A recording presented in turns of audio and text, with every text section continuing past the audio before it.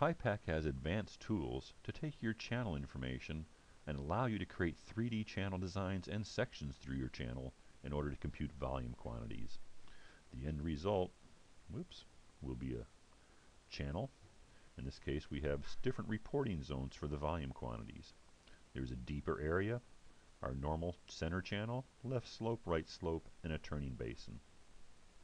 All this is done inside the Advanced Channel Design program. Inside of Advanced Channel Design program, we can go ahead and bring in our node information and then create planar faces of, of pairs in order to create the 3D channel. There are tools that will automatically generate side slopes for you. In this case down here we go from an 8 meter channel to a 10 meter channel back to an 8 meter channel. We have a turning basin at a different side and the side slopes become very complex. All that's handled automatically in advanced channel design. With the zones, we can go ahead and here we've created five different reporting zones.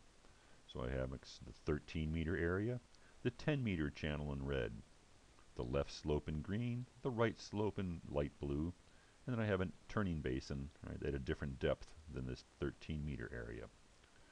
We can then generate our plan lines. So I'm going to go ahead and read a plan line file that I've already created. This plan line file doesn't have any kind of channel information or, or template information. And then I can go ahead and cut sections through it. So I'll save my plan line and give it a name. Let's just overwrite channel limit.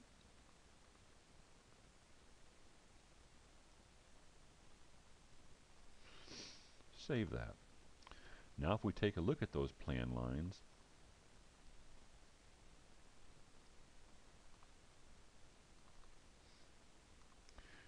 Each line, as you see as we go down through the section, here's just a partial where we have the left slope and the center channel.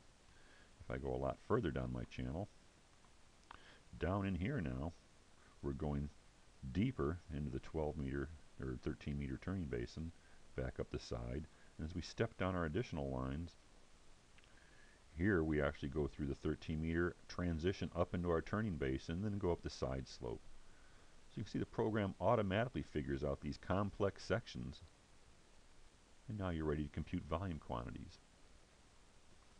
If we want to do volumes inside the tin model, which more and more people are going to, we'll just generate our model, calculate volume, do a tin to channel calculation where I can compute the over depth and the contour over depth. I could also include the fill values. We're going to do it by sections and zones and tell it to calculate. It's actually subdividing the tin model between each pair of plan lines and then allocating the material, whether it's in the left slope zone, the center channel, the right slope, or there are other reporting zones. All this information is stored in a text report that can then be analyzed for your final volume quantities. We're almost done.